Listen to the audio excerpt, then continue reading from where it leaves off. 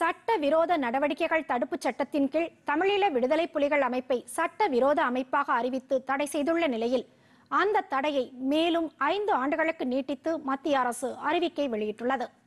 இந்த அமைப்பை சட்ட விரோதமாக தடை செய்யப்பட்ட அமைப்பாக ஏன் அறிவிக்க கூடாது என்பதற்கான ஆட்சேபனைகள் ஏதேனும் இருந்தால் முப்பது நாட்களுக்குள் எழுத்துப்பூர்வமாக விளக்கம் அளிக்கலாம் என அறிவிப்பு வெளியிடப்பட்டுள்ளது.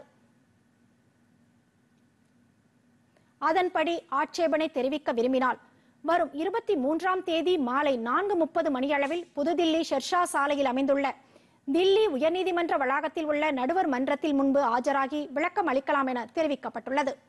மேலும் நேரில் வர இயலாதவர்கள் ட்ரிபுனல் உபா இரண்டு